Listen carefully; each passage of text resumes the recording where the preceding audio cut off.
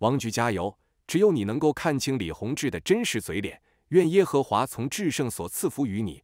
愿你们一生一世都看见圣城耶路撒冷的好处。李鹏也只是那个背锅的，是整个中共集团的决定。让我们铭记历史，记住有这么一个政府对自己的人民做出这种事情，全程泪目。首先，我对六十四学潮中死去的学生感到痛心。但如果当时仍有学生胡闹下去，今天的西藏、新疆、台湾已经独立，国家可能四分五裂。无辜吗？不无辜啊！如果不是当年他们天真被人利用，就不会死啊！现在可能日子都会过得还不错，甚至还能在家看嫦娥六号登月。我很想知道，这些遇难者的家属在想要得到公正说法的同时，他们把这场悲剧归咎于一个屠夫的命令。还是一个罪恶体制的本质。王桑、刘晓波作为四君子之一，说没看到死人，你怎么评价？你凭什么断定是大屠杀？作为新闻工作者，你真的遵循了你的原则吗？王局，你先揪出来，谁打死了长安街桥上的小兵？谁掏出来他肠子的？谁吊起他到桥头？谁把他烧的勾起来了？没这觉悟，谈不下去的。也只有王局才能这样透彻分析法轮功的真相，让大家走出法轮功的谎言。愿你在基督里的每一天都是充满喜乐的，更是充满平安的。最应该谴责的不是中共，是那些那些如今还在国外的那些所谓六四领导者，让学生去送死。你们在外面逍遥快活，同时断送了中国的民主进程。对各种伟大形式生存理由诉求，群众运动盘踞动乱。必须学美国快、狠准模式处理，避免引起野火燎原、弱国毁国大危机发生。上，对各种伟大形势生存理由诉求，群众运动盘踞动乱，必须学美国快、狠准模式处理，避免引起野火燎原、弱国毁国大危机发生。下，海纳各种族英雄们融合，国家越来越壮大。蛮族起家为首，罗马帝国后代越混越分裂，越小莫头错主。胡搞自己国家，可后悔无门。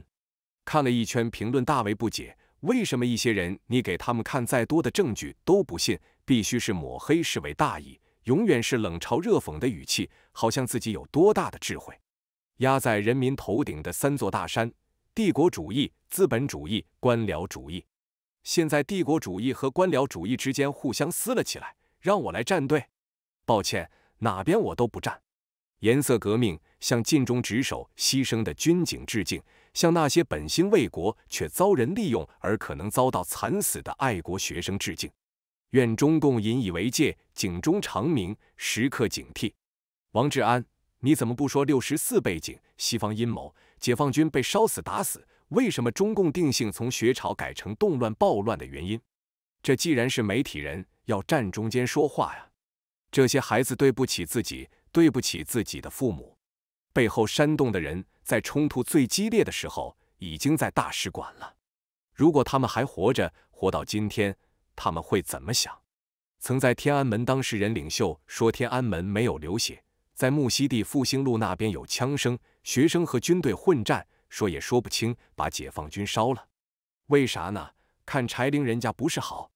周星驰电影整蛊专家就讽刺过六十四。吃了诚实豆沙包后说原木好诚实，李鹏是最伟大领袖。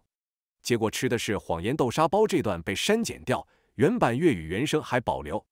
祖国为政与执法同志们，莫对各种看似无害、义正言辞群众运动聚集，必须狠下心来，在小火镇压代价小时，就要快狠准杀无赦扑灭。柴岭、乌尔开西这几个运动头领是真正的刽子手。拿这些手无寸铁的学生做垫背，他们侥幸逃离中国，现在美国过上了幸福生活，手段多么的残忍！既然要参加运动，就不要怕死；既然要暴乱，那就该死。运动裹挟下没有无辜可言，因为你被裹挟怂恿从事颜色革命，站到了当时国家利益的对立面。谢分享。所以这么大的悲剧，原来也和那个具体的不知名的缺乏基本人性关怀的军官有关系。如果这些伤者可以及时得到救治，悲剧也就可以减少了。全国不少校园对以巴处理不当抗议事件、群众运动风潮，当政府要打压、镇压时，都依法不依身份、毫不留情、强悍霹雳手段排除。政府怎么可能跟你讲法治？你跟他讲道理，他给你讲态度；你跟他讲态度，他跟你讲法治；你跟他讲法治，他跟你讲政治；你跟他讲政治，他跟你讲国情。我一直以为这都是谎言，是西方对我们不友好的揣测。事实证明，我四十岁的年纪还是太年轻，在威权体系下，我在墙内怎么敢胡说话，怎么死的都不知道。这些妈们太勇敢了，红心无限敬意。祝各位妈长命百岁，身体健康，好活下去。历史会记住你们，记住你们正义、善良、勇敢的亲人。红心，你们和他们都是真正的爱国者。我经历过六点四，当年正好二十岁。当年其实大部分学生或者大部分人都是凑热闹的，一部分人是有目的，也有一部分人确实是对当时社会的一些现象不满。祖国多数人民守法与冷静配合，得以平安度过国家危机，永续不断，勇于尝试与修正，政府施政方向与方式，勤奋精进发展，丰硕生存建设果实加上，完全没有印象。一个文革，一个六十四，父母对这些事只字不提。现在哪怕我讨论起这些事，他们都是选择回避不提的，好像他们不知道，也像没有发生过一样。这是为了防止挖祖坟，为了保江山的政权的疯狂。官僚系统、军队和民众几十年来不过都是江山的工具，谁冒头了，就拿另外两个去斗倒另一个，整个一个大枫桥经验。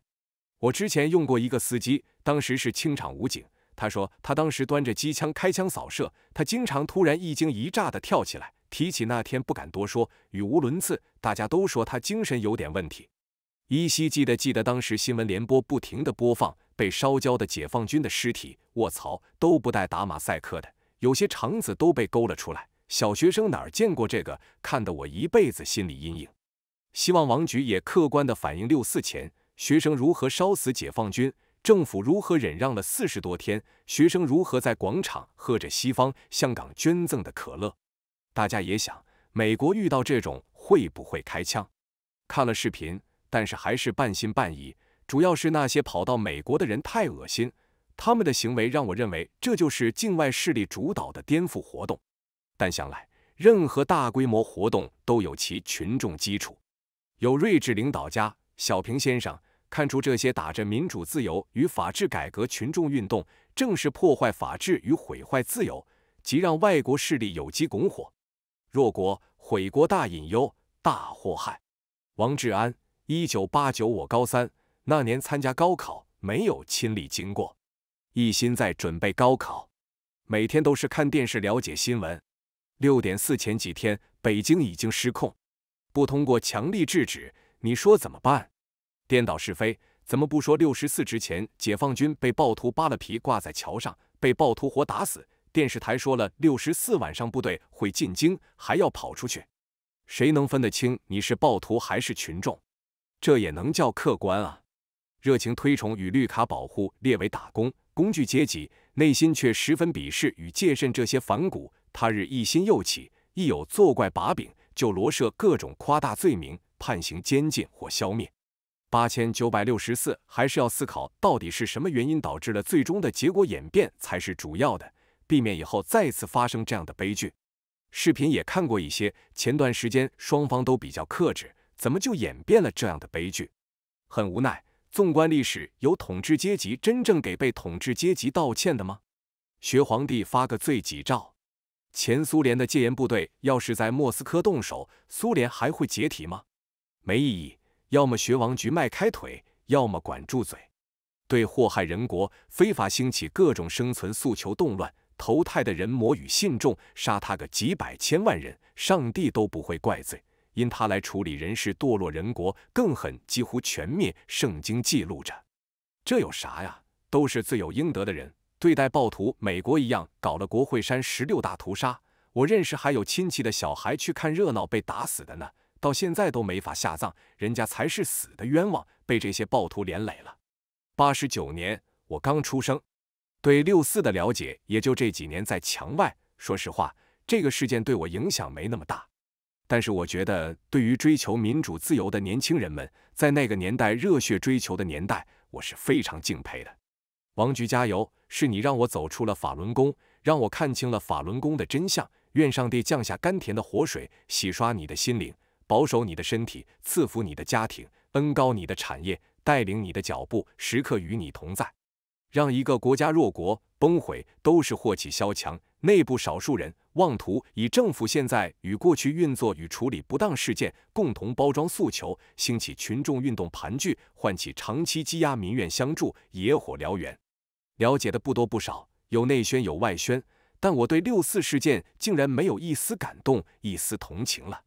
可能要等民不聊生或伟大复兴，才能真的觉醒。要么觉醒中共统治的黑暗，要么觉醒社会主义的优越性了。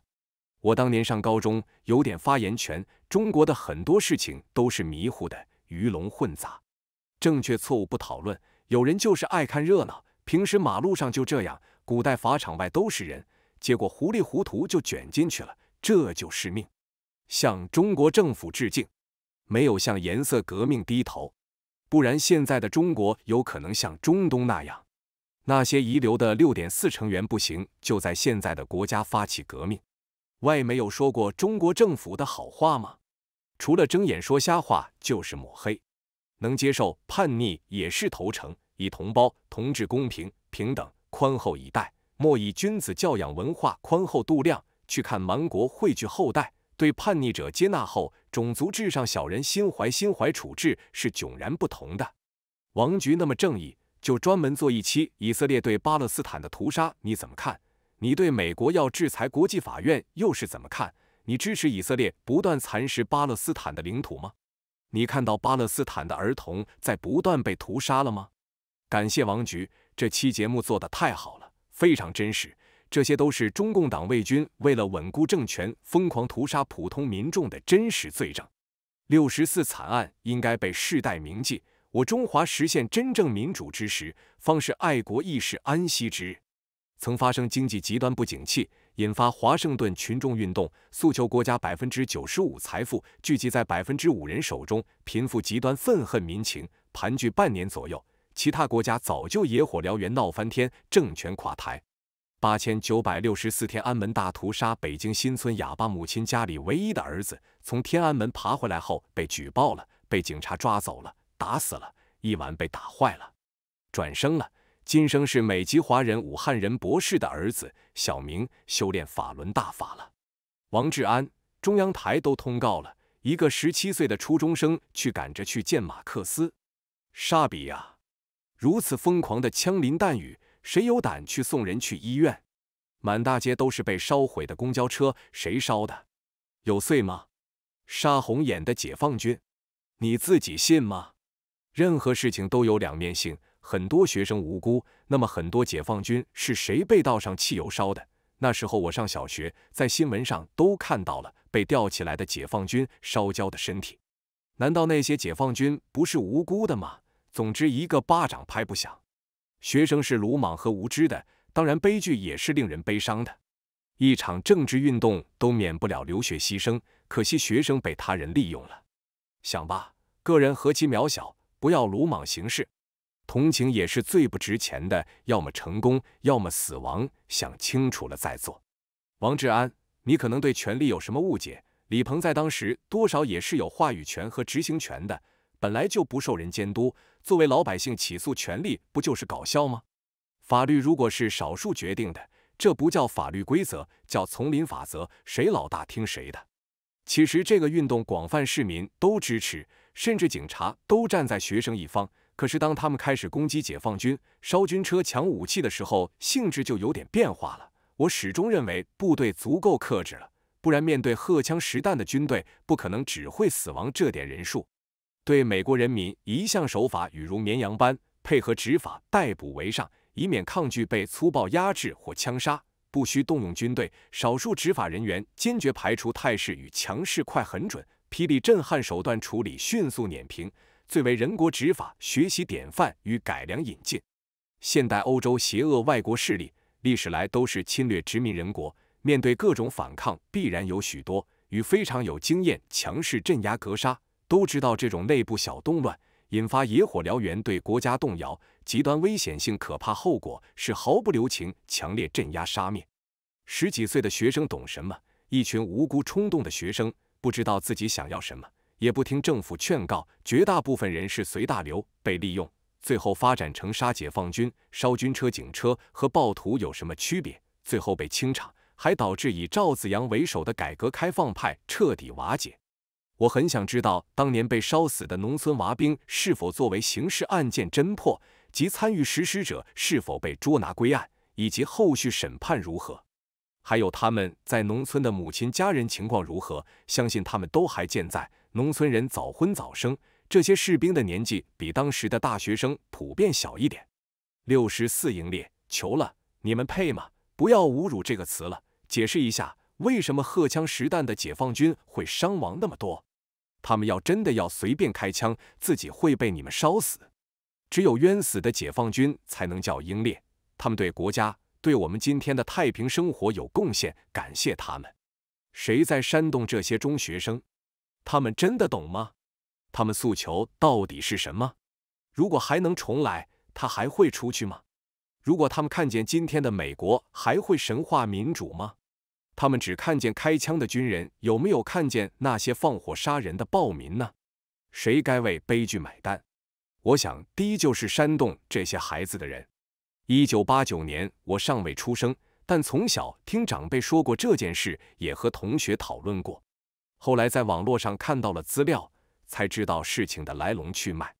纵观历史。与人民为敌的人，终将被扫进历史的垃圾堆。历史必将给所有人公正的评判。作为后人，我们要做的就是铭记和等待。我那个时候上高三，我们也兴奋的想去玩。我们不懂政治，只是想凑热闹，不想上学。我同学跟家长谈判，让爸给买东西，陪打乒乓球，然后就不去北京了。我在想，当年这些年轻的学生，又有几个真正懂政治、懂治国呢？可惜了，牺牲了年轻的生命，只能说这件事对于政府、对于人民都是悲剧。但是我是支持镇压的，我觉得有些人是误杀的，比如九岁小孩子那么晚还能跑出来；有些人是被反杀的，毕竟还有十多名全副武装的解放军警察被吊起来烧死。政府一开始的目的如果就是开枪，不会就死二十多人。事情是从四月底开始闹的。已经答应两个汉奸学生头子当常委了，这种程度的妥协还是不罢休，非要颠覆国家，这不镇压什么该镇压？解放军在接到命令前已经被杀了好多了，有的直接挂在桥头。军方和学生都没有错，政府也没有错，错的是背后怂恿的人。古代王朝都有史官记录是非对错，虽然历史就是个任人打扮的小姑娘，但是至少是保留下来了。但是现在共产党所做的事情就是完全否认六四的存在，通过信息封锁、言论管制，完全抹去了百姓记忆中真实发生的事件。每个墙内出生的人，在降生那一刻就已经被剥夺了政治权利。我看了学生与李鹏的对话，闪烁其词，被人忽悠的一愣一愣。害惨的是自己家人妄想以民主自由来。如果当时六十四成功，今天的中国绝对是很惨烈，也绝对是美国的附庸。动不动都民主自由，有事没事闹一下，对抗一下，如何政令下达？不说官僚主义、贪腐主义两回事了。本人是亲历者，广播让大家回家一遍又一遍。非常时期对抗戒指严，那就是犯罪。本人也不幸膝部受枪伤，地点也是木樨地。虽经三次手术，至今屈膝仍然部分受限，但也没有太多怨恨了。当时情况下不清场怎么办？群众情绪被鼓动起来了，都很极端，讲法已完全不可能了。群众方面，暴乱中有三十多名非军人受伤，二十余人死亡，包括三十六名大学生。对比现在美国的反以色列的游行示威，美国政府的反应，中国政府做的相对隐忍了，即使动用武力也是应该的。过这么多年以后，现在看起来更是没毛病。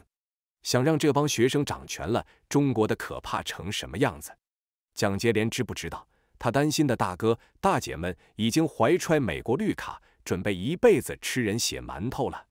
造反被镇压，然后要求政府赔礼道歉，这种行为，放眼整个人类历史都相当炸裂。当年的宋江、方腊怎么就没想到这个办法呢？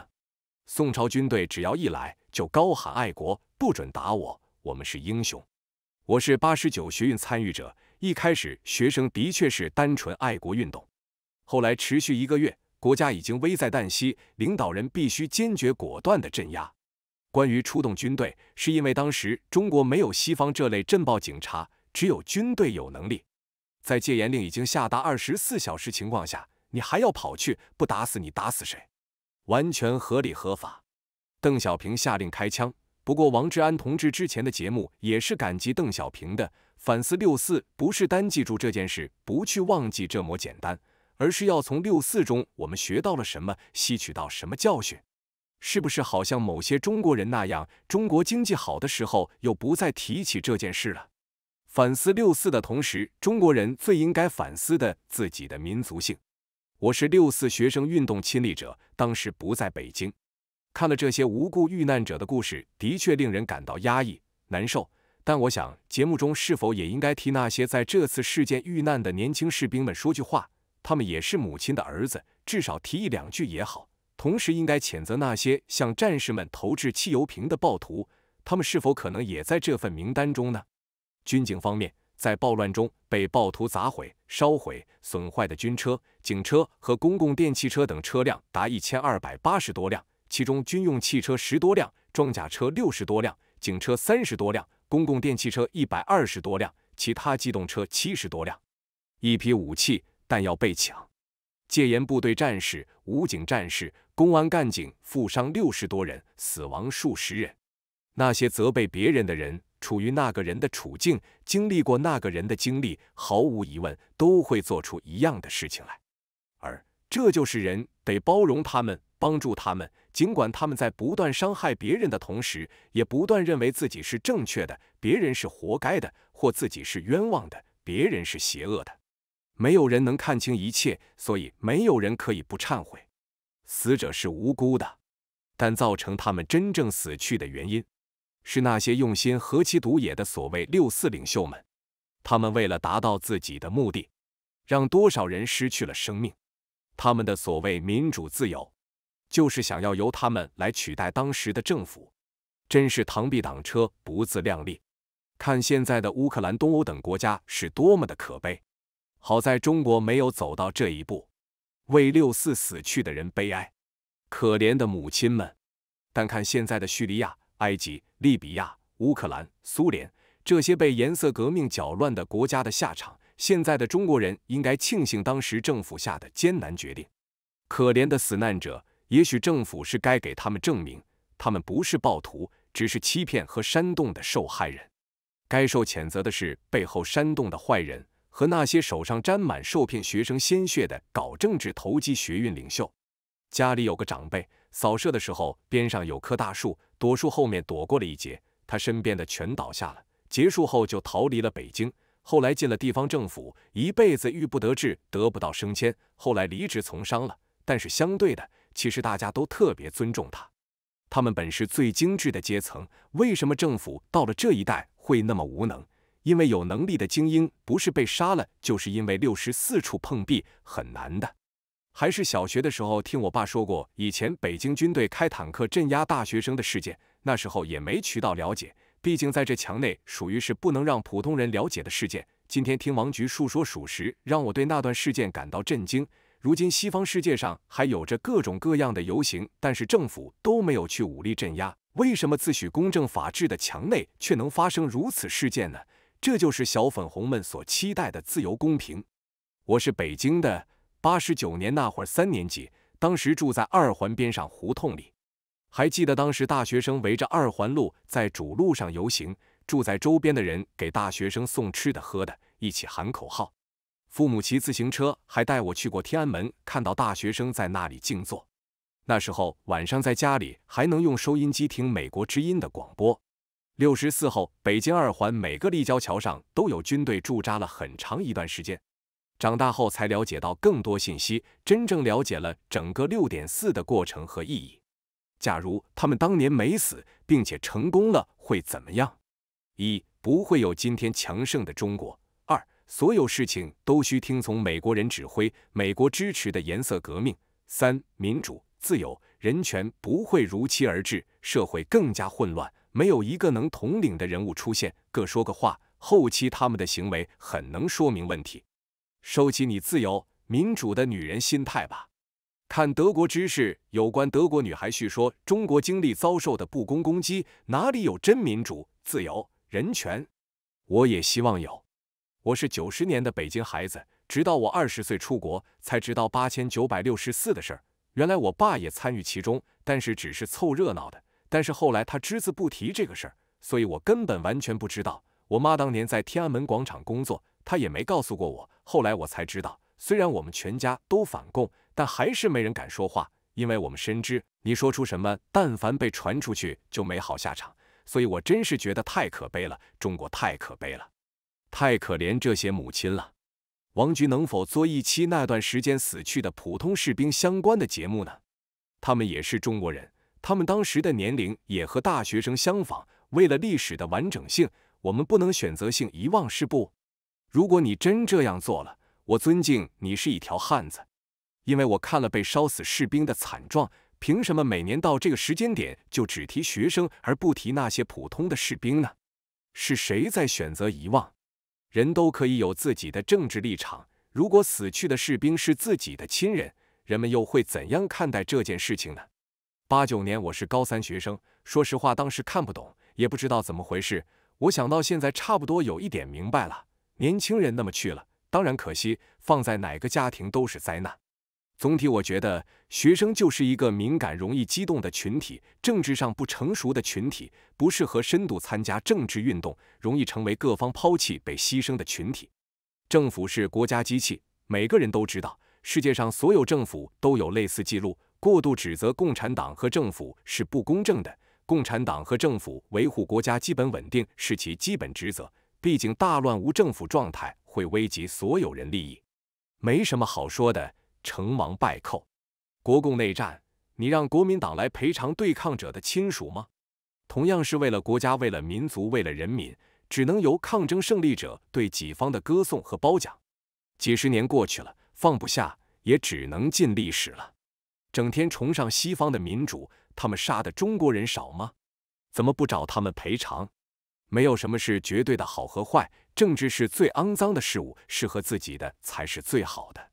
一将功成万骨枯，觉得自己能打就上，同样做好失去一切的准备，包括和自己有关联的所有人和物。没有能力就好活在当下，打不过就加入。牺牲的解放军，你们提过吗？这是一场悲剧。这些学生初衷没有错，但是这些学生也毫无底线，向政府提出很多无理要求。学生代表要进入政府当常委监督，客观来说，政府和学生都没有错。只能说这是一场悲剧。